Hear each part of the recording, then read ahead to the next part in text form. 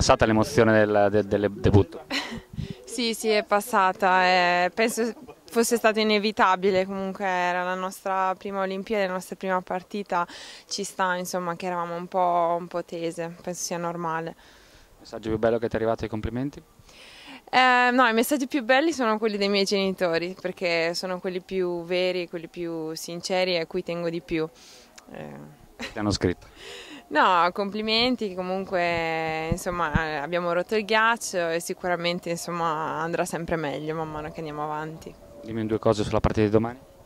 Eh, ma siamo tranquille, comunque oggi alleneremo determinate situazioni insomma, per gestire la tattica di domani e entreremo in campo insomma, con la massima aggressività perché è proprio con queste squadre che eh, basta poco, insomma, non bisogna mai rilassarsi. Seconda partita delle Olimpiadi, come sarà? Mm.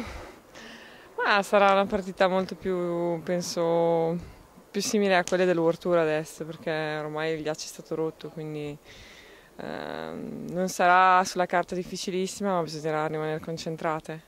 Sarà il, ancora di più l'effetto pubblico intorno. Vi, vi, piace giocare in questo stadio così pieno? È bellissimo, a me mi dà una carica enorme, non vedo l'ora di tornare dentro quel campo.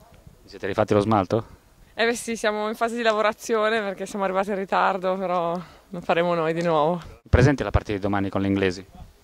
Domani è una partita mm, importante, una partita che sulla carta noi siamo favoriti, però dobbiamo essere bravi a, a confermare questo favoritismo con l'azione effettiva in campo, quindi dobbiamo tenere ritmo alto, non sottovalutare loro e fare il nostro gioco. Ti aspettavi l'esordio che andasse così? È andato meglio o peggio di come c'è stato qualche rischio? Insomma? Cioè, l'esordio in Giochi Olimpici è sempre una cosa mm, particolare, no? eh, sicuramente abbiamo sbagliato un po' di più che la, che la normalità, noi siamo una squadra che di solito sbagliamo molto poco. E, però siamo stati molto bravi a avere la pazienza per trovare l'equilibrio emozionale, per trovare il cammino, no? pazienza per ritrovare il match in mano e loro sono stati molto bravi a questo. Veramente era una partita molto difficile.